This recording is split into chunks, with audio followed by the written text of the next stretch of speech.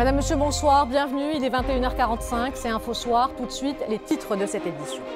Programme d'appui social, subvention de certaines activités commerciales ou encore retraite pour les professions libérales. Cinq décrets été menus du Conseil du gouvernement, des projets de loi pour concrétiser le chantier de la réforme sociale au Maroc.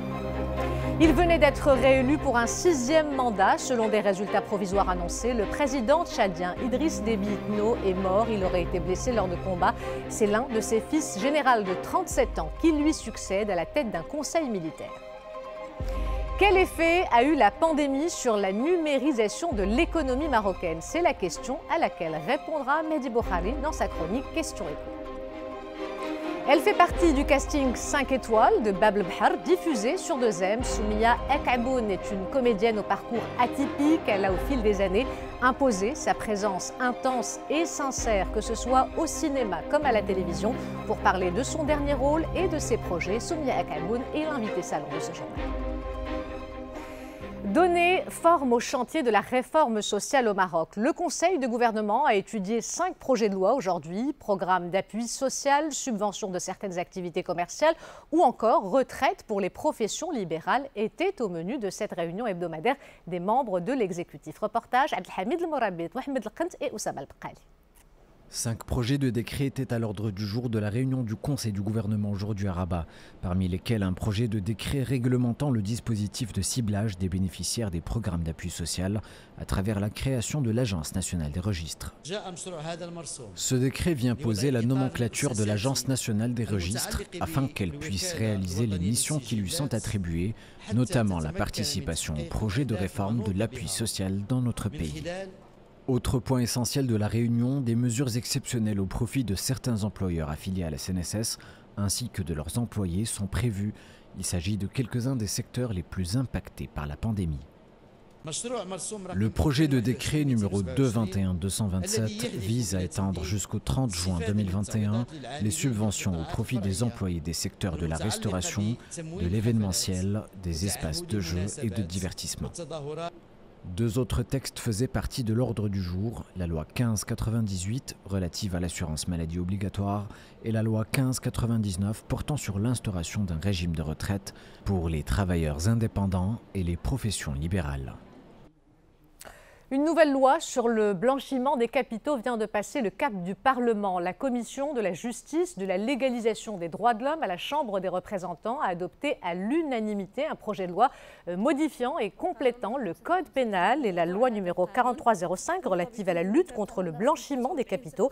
Présenté par le ministre de la Justice, Mohamed Ben Abdelkader, le texte s'inscrit dans le cadre des efforts du Maroc visant à renforcer le système judiciaire national en matière de lutte contre le blanchiment des capitaux et le financement du euh, terrorisme.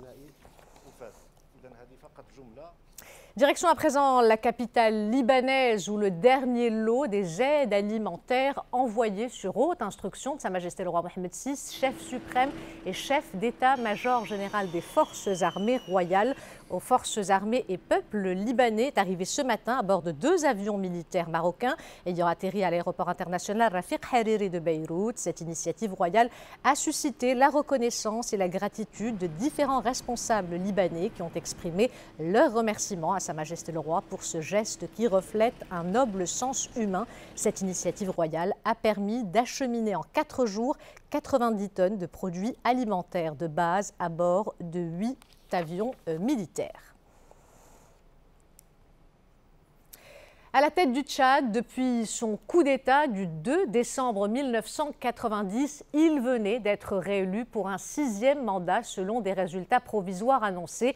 Le président Idriss Déby Itno est mort aujourd'hui. Il aurait été blessé lors de combats, selon le porte-parole de l'armée. C'est l'un de ses fils, général de 37 ans, qui lui succède à la tête d'un conseil militaire. Cette mort brutale plonge ce pays d'Afrique centrale dans l'incertitude. Un couvre-feu a été instauré et les frontières terrestres et aériennes ont été euh, fermées. Dépendant l'intégrité territoriale À la veille des consultations du Conseil de sécurité des Nations Unies sur la question du Sahara marocain prévue demain, l'ambassadeur et représentant permanent du Maroc auprès de l'ONU s'est fendu d'une lettre à l'attention des membres du Conseil. Dans son texte, Omar Hillel a pointé du doigt les obstructions et blocages de l'Algérie et du Polisario au sujet de la nomination d'un envoyé personnel du secrétaire général et de la reprise du processus politique onusien. Les détails avec SLSS. Omar Hillel a battu en brèche les amalgames et la confusion que l'Algérie tente de créer au sujet de la nomination d'un envoyé personnel pour le Sahara marocain. L'ambassadeur et représentant permanent du Maroc a ainsi rappelé que le Royaume a accepté les propositions du secrétaire général. Selon les mots de Omar Hillel, à travers ses réponses positives et diligentes à ses propositions, le Maroc reconfirme son engagement de soutenir les efforts exclusifs de l'ONU pour résoudre ce différend. L'ambassadeur du Royaume a également rappelé le refus algérien face à ces deux nominations, une position qui constitue une violation flagrante de la résolution 2548 qui a demandé la nomination d'un nouvel envoyé personnel dans les meilleurs délais. Dans sa lettre, Omar Hillel n'a pas manqué de mettre la lumière sur le double langage de l'Algérie, appelant à la nomination d'un envoyé personnel et refusant tous les candidats qualifiés et de stature internationale proposés par le secrétaire général. Avant de conclure, l'ambassadeur du Maroc a rappelé que l'initiative d'autonomie, dans le cadre de la souveraineté et de l'intégrité territoriale du Maroc, est l'unique solution à ce conflit. Le Maroc, élu par acclamation à La à la présidence du Conseil exécutif de l'Organisation pour l'interdiction des armes chimiques pour un mandat d'une année allant du 12 mai 2021 au 11 mai 2022. L'élection du Maroc en la personne d'Abdelouaheb Louki, ambassadeur du Royaume à La son, et son représentant permanent auprès de l'OIAC, intervient suite au soutien unanime apporté par les groupes des États africains partis à la Convention sur l'interdiction des armes chimiques à la candidature marocaine. Alors que la pandémie de Covid-19 continue de sévir dans de nombreux pays, la vaccination semble une étape indispensable à la sortie de crise. L'accès au vaccin reste toutefois inégalitaire à travers le monde. L'OMS déplore que si, dans certains États, un quart de la population a pu recevoir une dose, cette proportion chute à une personne sur 500 dans des pays pauvres. Une quinzaine de pays dans le monde n'ont pas commencé à vacciner. La majorité en Afrique, ces pays concentrent environ 2,5% de la population mondiale. Et concernant l'opération de vaccination au Maroc, une opération qui se poursuit depuis le 29 janvier. Depuis cette date, à cet après-midi 16h, c'est un total de plus de 4 684 000 personnes qui ont reçu la première dose du vaccin, alors que plus de 4 193 000 bénéficiaires ont reçu les deux injections. Arrêtons-nous à présent, comme tous les soirs, sur les derniers chiffres du Covid-19. Durant ces dernières 24 heures, 700 nouveaux cas de contamination ont été enregistrés au Maroc, un intervalle durant lequel 7 décès ont été annoncés. Concernant les guérisons, 652 rémissions ont été répertoriées à travers les différentes régions euh, du royaume. Le mois de Ramadan est, euh, comme chaque année, accompagné d'une forte mobilisation des autorités à travers la multiplication des opérations de contrôle dans les marchés afin de garantir la qualité, les prix des produits et leur approvisionnement. Exemple dans la province de Taza où plusieurs commissions mixtes, s'attellent à la tâche. Reportage Salah Jabri et Desl Cohen. Il sillonne quotidiennement les marchés de la ville de Taza pour vérifier la salubrité et la qualité des produits commercialisés, particulièrement les plus consommés durant ce mois sacré. Les membres de la commission mixte de contrôle des produits alimentaires font le tour de tous les commerces.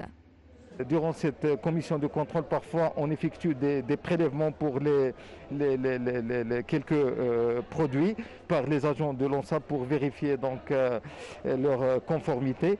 Et aussi, des fois, on est contraint à de faire des mises en demeure pour quelques commerçants qui ne respectent pas les règles de la salubrité. Les contrôleurs ne font preuve d'aucune indulgence. Ils passent au crible tous les types d'aliments et accordent une attention particulière aux conditions d'hygiène et de conservation.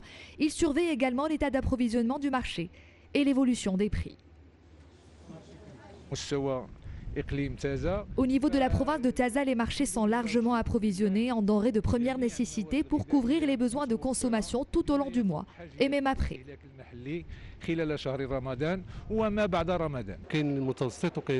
Les prix sont stables et il y en a pour toutes les bourses et tous les produits sont disponibles.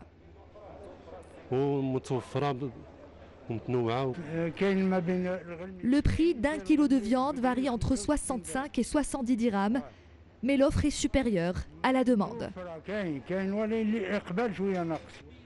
Covid oblige, lors de ces opérations d'inspection et de contrôle, les commerçants sont également sensibilisés au respect strict des mesures sanitaires et de distanciation afin d'assurer la sécurité de tous. Place à présent à ce nouveau rapport en écho à la pandémie du Covid-19 entièrement consacré à la transformation numérique au Maroc. C'est le sujet de la chronique Question écho de Mehdi Bokhari. Mehdi, bonsoir. Alors quel effet a eu cette pandémie sur la numérisation de l'économie marocaine? Bonsoir Hassan, bonsoir à tous. Justement, cette pandémie a été en quelque sorte euh, un accélérateur de la transformation numérique de l'économie marocaine au point qu'en trois mois seulement, le Maroc a réalisé des progrès qu'il n'a pas fait en trois ans. Une innovation euh, prolifique durant la période du confinement surtout, qui a permis à la fois à l'État mais aussi aux entreprises de s'adapter et de mieux gérer cette pandémie. Un constat dressé dans le récent rapport du cabinet londonien d'intelligence économique Oxford Business Group. On apprend ainsi que les secteurs publics et privés ont mis en place une série de solutions digitales, des innovations qui ont permis de maintenir la productivité. Et les exemples sont légion, comme dans l'éducation avec la plateforme d'enseignement à distance Telmid TIS, mais aussi il y a la solution 8 pour les opérations agricoles ou encore Portnet, un ensemble de 120 services en ligne dédiés au commerce extérieur. L'innovation a également frappé à la porte de l'administration publique, que ce soit en matière de collecte des impôts, de signature électronique ou de dématérialisation de certains services publics. Pourtant, ce n'est pas encore suffisant puisqu'à peine 16% des services destinés aux citoyens euh, sont totalement dématérialisés. Et c'est, on peut dire, Ihsan, euh, le verre est à moitié plein. Est-ce qu'on peut dire, Mehdi, que cette transformation digitale a aussi concerné les citoyens?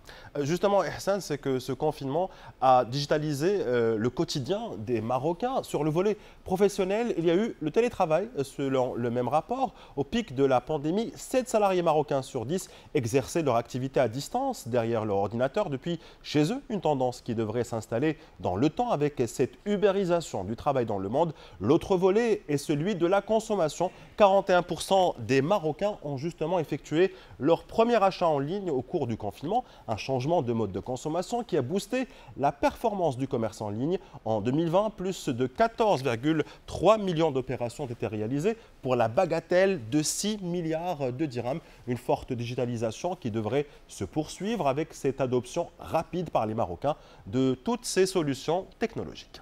Merci Mehdi pour cet éclairage. On vous retrouve la semaine prochaine. Sensibiliser les jeunes au patrimoine et à sa sauvegarde. Les sites culturels de Rabat, vous le savez, racontent l'histoire de nombreuses civilisations.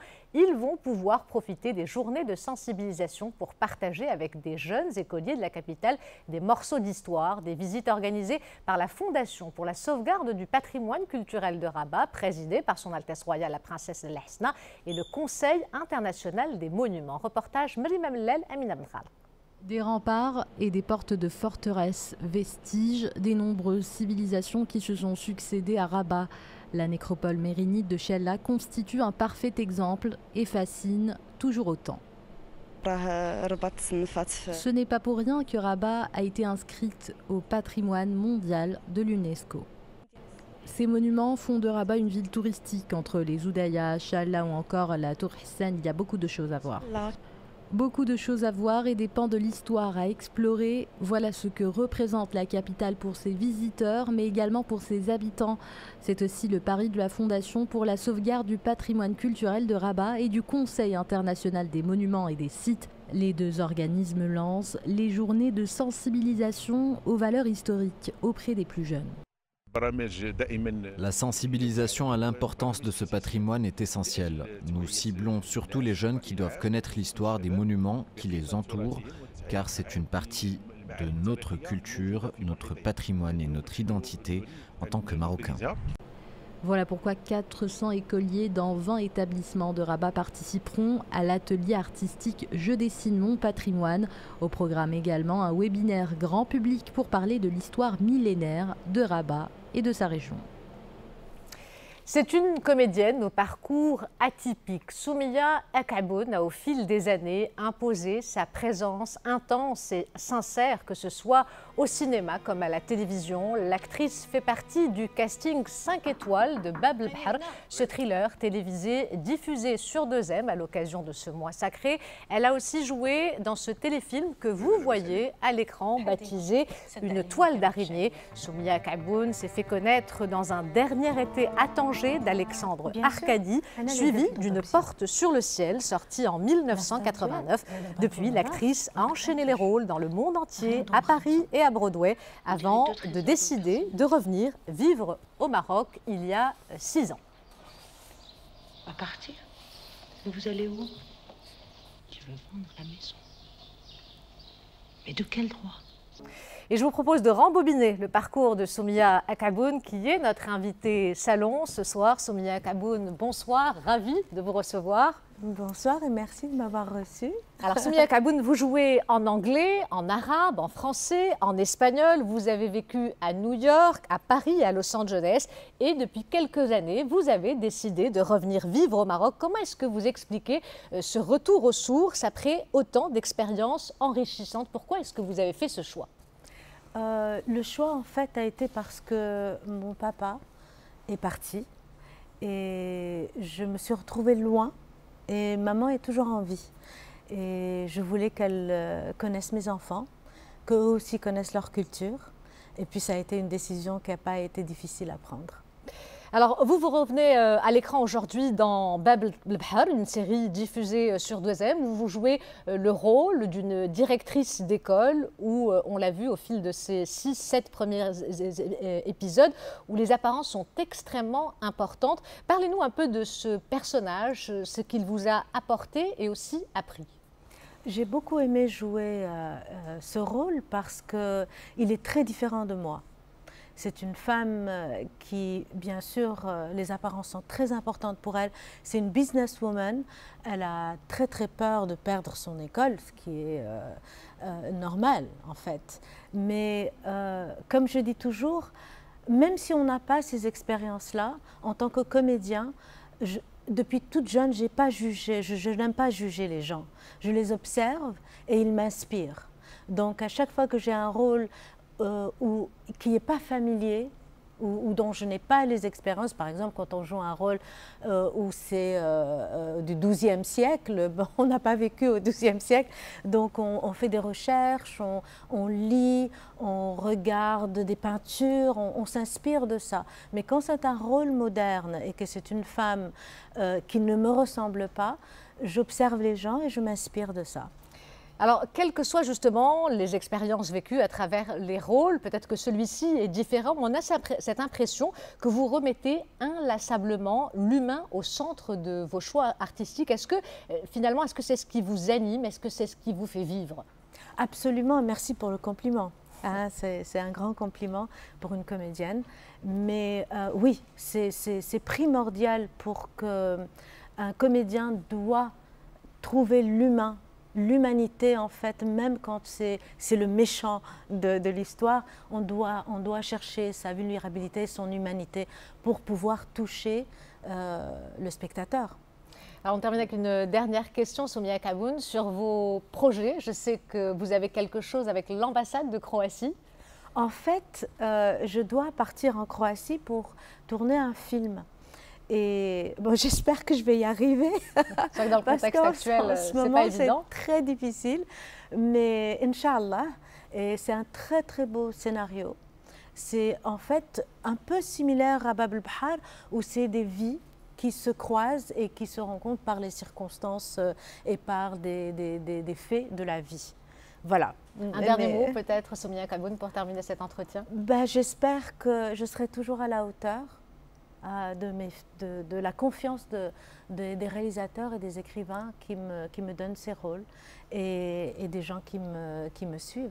En tout cas, la sincérité, on la ressent à travers vos différents rôles. Merci d'avoir fait le déplacement. Merci euh, d'être venu ce soir. Vous restez avec nous, Soumia Kalboun. On va découvrir ensemble le portrait de Silma Lhiyani, architecte de son état. Elle est aussi artiste depuis qu'elle a 12 ans. Elle peint des toiles au format imposant, des toiles dont les couleurs irisées profondes semblent se mouvoir dans l'espace, une sensation que l'artiste définit comme intangible, c'est-à-dire impalpable et insaisissable. Les images sont signées Mouloudizindine, le récit Sami Harissi. Selma Hiani a deux amours, l'architecture et la peinture. Jeune architecte, fraîchement diplômée, elle s'exprime autant dans la conception architecturale que dans l'art plastique. L'artiste sonde l'intangible, un univers intouchable, ineffable, où chaque couleur va à la rencontre de l'autre sans perdre de son identité coloriométrique. Chaque tableau, j'ai essayé d'aller à la recherche de sensations un peu euh, spéciales euh, à, travers euh, toujours un thème fantastique, un thème, un thème de l'intangible thème de prédilection de l'artiste, le Balzach, ce point de rencontre entre la mer Méditerranée et l'océan. Une collection que Selma Hiani vient d'exposer récemment, des tableaux dégradés subtils, à travers lesquels elle utilise la technique du coulage pour mieux matérialiser le phénomène de la gravité. Une peinture directement inspirée de la nature aller à la rencontre de l'intangible à travers des toiles, euh, des tableaux, des textures, des couleurs, un mouvement, euh, afin d'essayer à, d'aller à la rencontre d'un intangible, donc des sentiments, des, sentiments, des sensations, des émotions euh, recherchées. Un univers poétique et harmonieux que Selma Hiani cultive dans ses toiles et ses céramiques, mais aussi dans les bâtiments qu'elle conçoit. Une peinture qui fait autant rêver que réfléchir. Avant de nous quitter, je vous rappelle la principale information de ce journal. Donner forme au chantier de la réforme sociale au Maroc. Le Conseil de gouvernement a étudié cinq projets de loi aujourd'hui. Programme d'appui social, subvention de certaines activités commerciales ou encore retraite pour les professions libérales étaient au menu de cette réunion hebdomadaire des membres de l'exécutif. Voilà, c'est la fin de cette édition. L'information se poursuit sur notre site 2m.ma et sur l'application My2m. Le prochain journal El Messaïa vous sera présenté par Zakaria et Abdelmjid aux alentours de minuit 30. Dans quelques instants, Jazirat Ilkens, la saison 6 démarre ce soir à 22h45. Le jeu d'aventure reprend de plus belle et promet plein de surprises cette année. Pour ma part, j'aurai le plaisir de vous retrouver demain si tout va bien. Excellente soirée à tous.